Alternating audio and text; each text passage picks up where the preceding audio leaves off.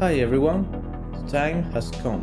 In the last months, I painted and recorded how I primed, airbrushed, made some heavy dust effects, applied some oil rendering, made the model pop with some selective pin washes, even I created some nice rust effects, and finally I covered the entire process of weathering tracks and wheels. So now it's time to finish this Tamiya Panzer IV in 135th scale once and for all. I can't waste more time, so let's grab the brushes and let's go for it. This is not a sponsor and welcome to my hobby channel.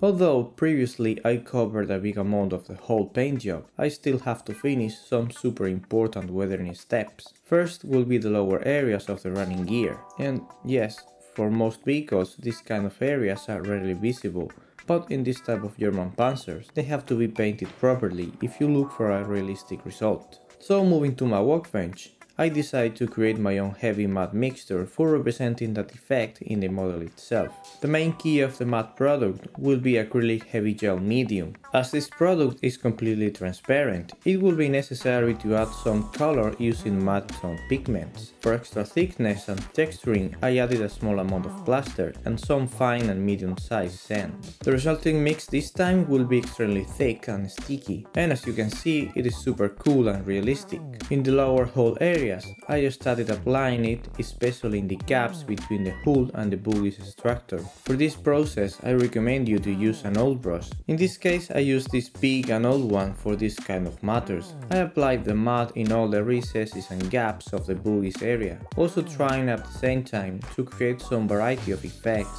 leaving more amount of mud here and there. The result once dry is very nice even if you compare it with the natural contrast it makes with the dust coat applied a few videos ago.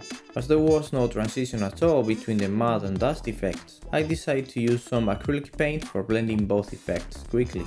Using some diluted Iraqi sand and working fast because acrylics don't give me excessive time, I made some blending, applying the paint diluted in a 50% and later using some tap water for blending. It worked as a medium tone filter for smoothing the contrast. Acrylic behavior was not as smooth like oils or enamels in terms of flexibility, but allowed me to work super fast.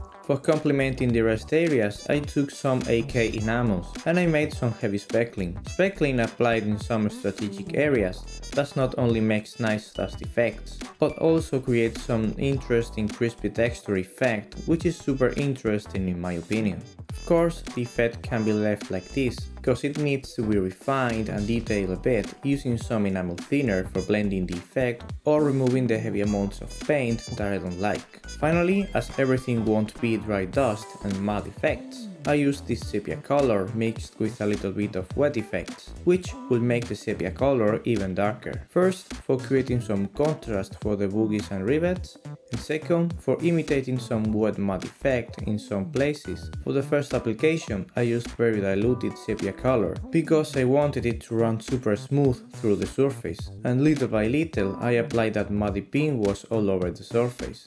Even the driver sprocket holding structure will benefit of this wash. And of course, the excess of oil effect can be removed if needed. I use this extra dark sepia color for detailing these side caps of the hull. First I applied some contrast with a pin wash, and later I represented some streaking effect starting first with some speckling and later blending it with some vertical brush strokes. This kind of effects will complement nicely the main mud and dust work. And the last step of this lower area will be to add some light speckling using the previous dark mud color. In this case I looked for a subtle effect that were visible but not too noticeable.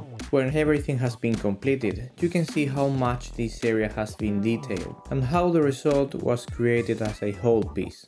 Okay, once all the parts of the running gear have been completed, it's time to glue them all. Maybe in other cases I would have gone for a different approach. This time, simply I felt I had to glue everything to continue weathering the model. This might give some more perspective view for finishing the kit as a whole. For plastic parts, Tamiya cement is the best option. This kind of glue just makes the process super easy, and the joint that you get between parts is hard rock. For other type of accessories, if I can, I prefer to use some white glue. Using this kind of soft glues allows me to place each part exactly in its position, with some correction possibilities. Also, if I need to remove the piece, white glue doesn't damage the painted surface. Now moving to the main hull weathering, it's time to start with the front ammo. Some time ago, given a walk, I collected this sand bottle. In this case, I wanted to represent some heavy accumulations of dirt and some small sized rubble. Also, it could be a different effect from what I'm used to paint. Wondering about what type of product should I use for fixing the dirt, I bought in my local hobby shop this product from Ammo. And after making some tests in other materials and checking its behavior, I started applying it directly to the model with a fine brush. This is the way I come up for applying this liquid without flooding all the model surface, and it worked fine at the end. I just loaded the brush with a big amount of fixer, and it would extend by its own just when touching the model surface. I am very happy with the result, because it doesn't damage the surface, and also it doesn't leave any marks in the paint. And the most important, everything was completely fixed with no issues. To make sure this dirt coat was blended properly with the previous enamel dust coat, I used some dust enamel colors and I applied a heavy coat over the dirt. When dry, I blended the effect by removing the excess. This will create a nice dust paint layer, which works as a transition between the dust areas and the more weathered ones. These same dust enamels were used to apply some effects on the spare track links, and for extra detailing in this front area, I used some raw umber for contrasting a little bit all the recesses of the main plates. As it works as a pin wash for the weather areas, it creates a deeper contrast feeling. So always, using some enamel thinner for blending, I removed the excess of the pin wash. Finishing the dust weathering, I applied some pigments here and there, especially in the turret ring of the hull. Applying the same dust color pigments that I used for the wheels, I represented some more heavy dirt accumulation in these inner areas. Later, with some dust enamel colors, I applied some heavy washes for creating some variety. Just check how that looks when the turret is placed in position. Finishing a model kit is a synonym of painting all the little details.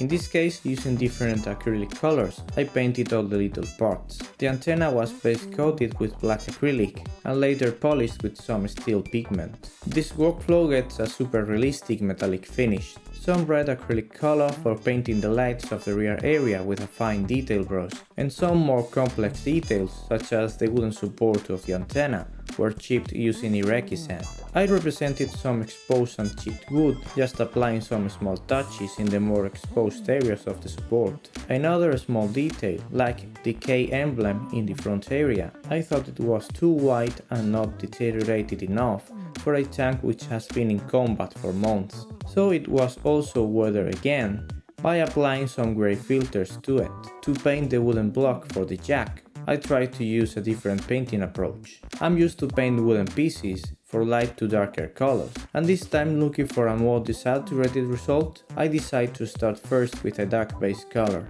At the end, I was not really pleased with the result. I mean, it's not bad at all, but it's not one of my modeling preferences. All in all, I think I will leave it just like that. Using some orange and black colors, I painted the leather strap of the wooden block. This time, I first applied a very dark base and little by little adding more amount of orange color until I painted the last contrasting highlights. Okay, so now all the dust effects and little details are finished. It's time to move to the last steps and to create some grime and dirtiness effects around the model. With these two dark oil colors, mixed in different proportions, I will work some areas like the turret side hatches for the crew or the turret stowage bin. All these areas have a common thing. There are places super exposed to crew work during maintenance or some daily routines. In the case of the stowage bin, it can contain almost everything inside so using the oil colors diluted with some enamel thinner.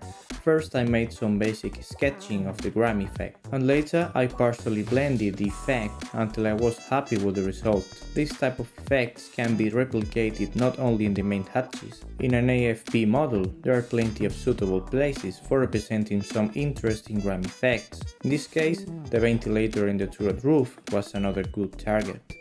There is a effect that I always reserve for the final step, the weathering of the engine deck area. Working and creating grime, grease and oil or fuel stains is not a super straightforward process. When I weather these parts, first I like to apply some speckling. In this case I used some black oil and raw umber. Speckling allows me to create some random pattern Talking about engine decks means talking about big and ugly fuel stains. With these ready soil colors and some Europe earth pigment, I will represent some spilled fuel above some accumulated dirt. First, I apply some dry pigment where I want to create effect. Also, you can make some corrections if you need it. With some burnt umber color, diluted with enamel thinner, I apply a wash for fixing it. Bituminal color has a glossy and thick finish, which makes it amazingly useful for representing grease and oil effects. Leaving a small amount of bitumen oil around the cap in the center of the fuel stain will act as some spilled fuel still fresh. I keep repeating this bitumen application until I get the result that I want. And finally, it can be complemented with some speckling and the same color. With the rest of the bitumen paint, this time I represent some fresh fluid stains using again the speckling technique, but more controlled and looking for some selective marks. Now you can see the final look of the engine deck once weathering is completed. Last finishing touches like the machine gun have to be base coated and later with a mechanical pencil I polish it with graphite for representing a metallic finish. Also I don't forget about the coaxial machine gun. I keep representing this effect in some more exposed areas, some soft touches in the turret handles and of course the stowage bin. The Commander Cupola received a heavier application, almost polishing the whole ring. In the rear area I applied some smoke dry pigment to the exhaust hole, a super easy and quick smoke effect. Finally I glued some wire for holding the spare track links and yes, but at the end and with some patience and practice, I managed to glue it correctly. The final step was to represent the rudimentary gun sight, which was omitted in the kit, and I obviously forgot to represent during the assembly.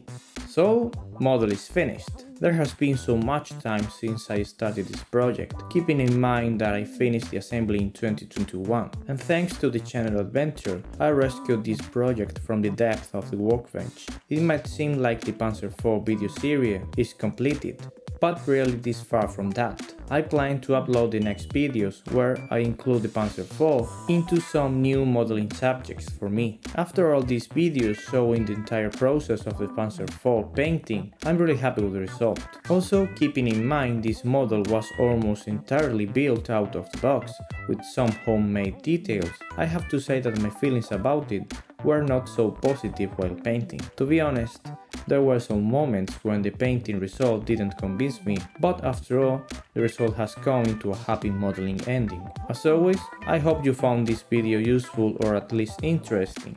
So thanks for watching and I see you in the next one.